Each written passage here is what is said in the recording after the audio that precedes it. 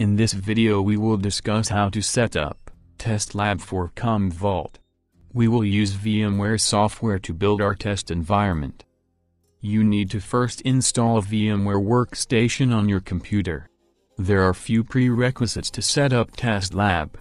Your computer need to have 8 GB or more RAM, 2 GHz or more processor speed.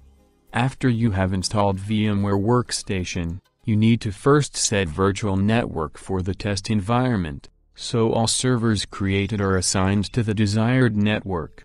From Edit menu, click Virtual Network Editor. On the Virtual Network Edit you see available virtual networks.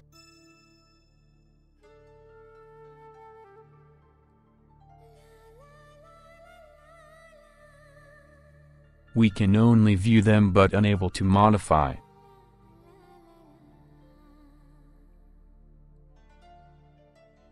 Click Change Settings and provide admin access. Once you gain admin access, you should be able to view, modify and create virtual network interfaces.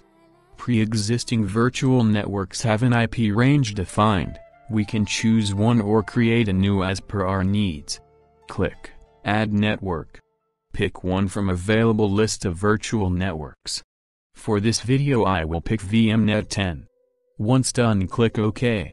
It would take a while to get the new VLAN created.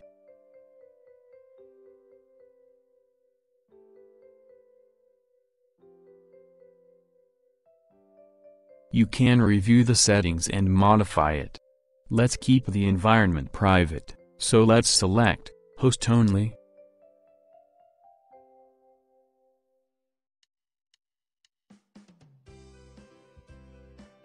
uncheck the option, use local DHCP as we do not need DHCP to assign IP address to servers. We will manually assign the IP address.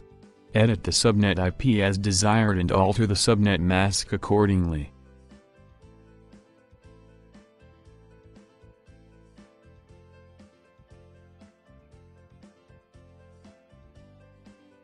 Once done click Apply and then click OK. Please wait a while for changes to get applied. You can create multiple VLANs as needed. For example, one for backup interface and one for production interface.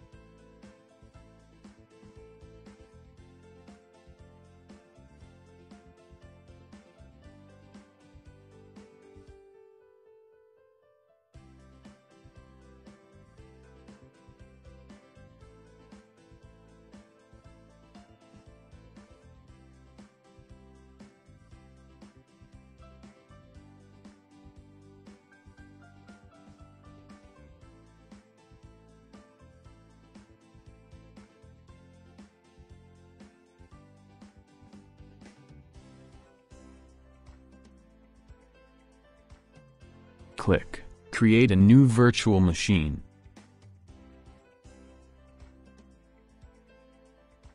Select Custom, Advanced and click Next. If you are aware of the virtual machine hardware compatibility, pick one from the list or else, click Next to continue. You have a choice to auto-install the operating system from the ISO once the wizard finish, or, Install the operating system later. Choose desired option and click Next to continue. Choose the guest operating system and pick the version from the drop-down list. Once done click Next to proceed. Give a name to virtual machine and pick a location where it needs to be stored.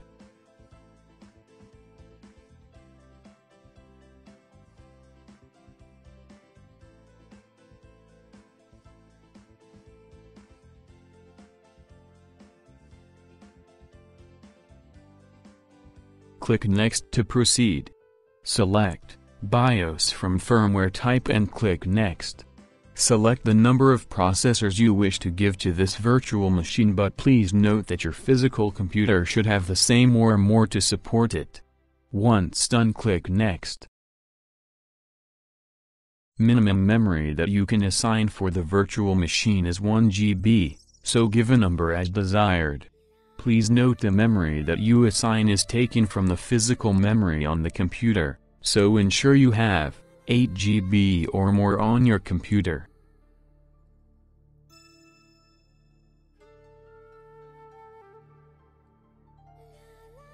Select Host Only Network from Network Connections and click Next.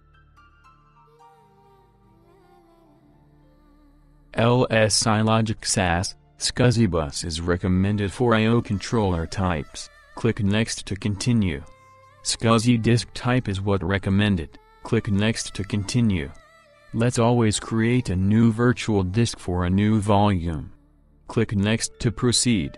You can assign a disk size and choose to store the virtual disk as a single file. Please note you are not allocating the disk size so the disk size is not locked. The way we are using the disk is based on, as use basis. Name the disk size or leave it as is and click Next. We are almost to the end now. Click Customize hardware to review the current configuration and modify it. You can remove unwanted hardware, or add new hardware as needed.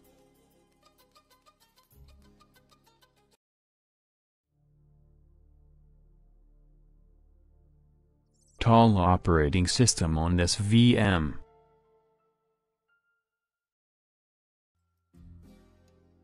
I have created three virtual machines and added them in one network.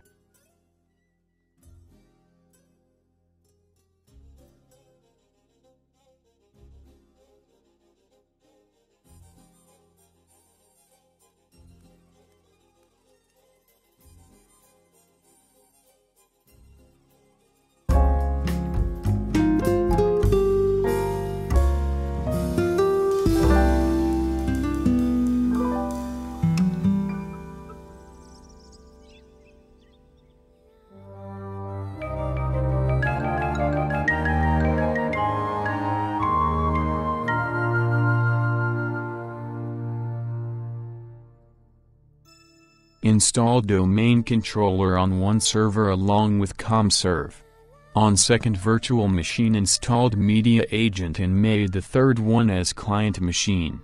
Thank you for watching. Please share, like, comment and subscribe for more.